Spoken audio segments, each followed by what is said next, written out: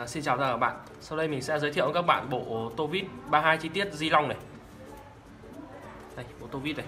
Rất là nhiều đầu vặn này. Cầm cũng khá là nhỏ gọn này.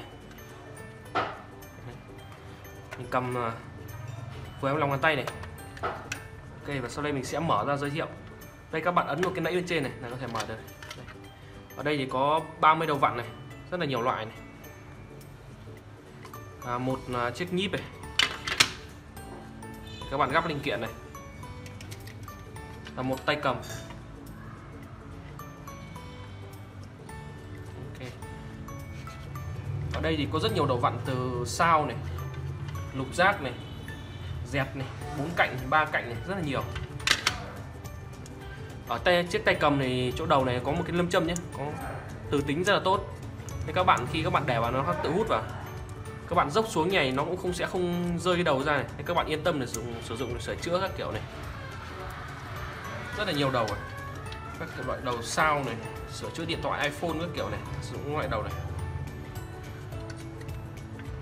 Hoặc những loại ốc thông thường. Đây. Loại bốn cạnh này để sử dụng cho các loại ốc bình thường này. Mình sử dụng khá là nhiều này. Loại dẹt này, sử dụng khá là nhiều này. Những cái đầu vặn này được làm từ chất liệu hợp kim thép này, rất là cứng này. Đồ họ được tôi rất là cứng này, nên các bạn yên tâm là sử dụng sau một thời gian thì nó cũng không bị tòe này. Nếu các bạn sử dụng đúng cách nhé, các bạn đừng đập hoặc là như nào thì nó có, vẫn là tòe đấy. Các bạn sử dụng đúng cách chỉ để vặn, tháo vặn, mở ốc vít này, thì các bạn dùng trong một thời gian dài thì cũng sẽ không bị tòe đâu. Ok, vừa rồi mình đã giới thiệu các bạn bộ ô tô vít.